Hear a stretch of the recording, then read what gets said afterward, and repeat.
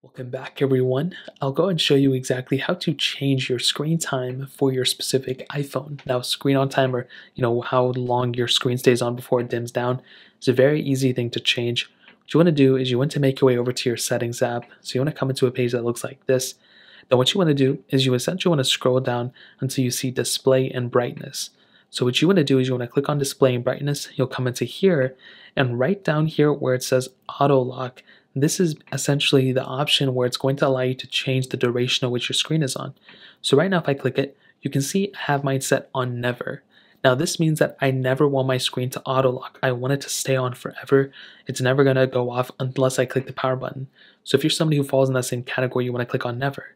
Now let's say you don't want your screen to, you know, not power down, you want it to power down, 30 seconds is too long, that's the default well, you can change it to one minute, two minutes, three minutes, four minutes, even up to five minutes. And that's really the main thing you can do. So let's say I want my screen to turn off after five minutes of not using it. Well, essentially, you go and click on the five minutes, and the screen will essentially turn off after five minutes. So if I put my phone down over here, the screen will still stay on for five minutes before it dims down.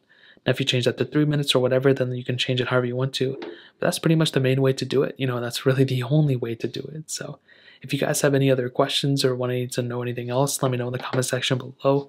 Hit the like button, that would mean so much, but definitely hit that subscribe button. More importantly than everything else, I love every single one of you guys. Hopefully I'll catch you guys in the next video. Peace out till then.